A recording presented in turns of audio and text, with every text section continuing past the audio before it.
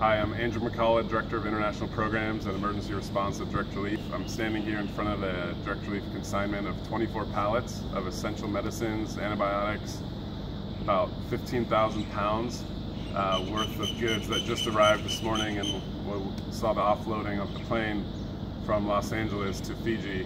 These supplies will be trucked to Suva today and then will be distributed onward uh, throughout the islands that were most hardest hit uh, by the cyclone. Uh, Direct Relief has been here for since last week, organizing medical teams and medical relief goods uh, throughout the country, and will be here as the need unfolds.